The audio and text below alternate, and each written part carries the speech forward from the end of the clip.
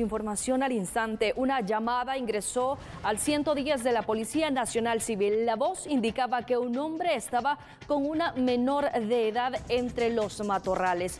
Llegan los elementos de la Policía Nacional Civil y logran ubicar a esta persona que usted tiene en pantalla, identificado como Marvin Baltasar López González, de 22 años quien presuntamente estaba abusando sexualmente de una mujer de 22 años, pero con discapacidades.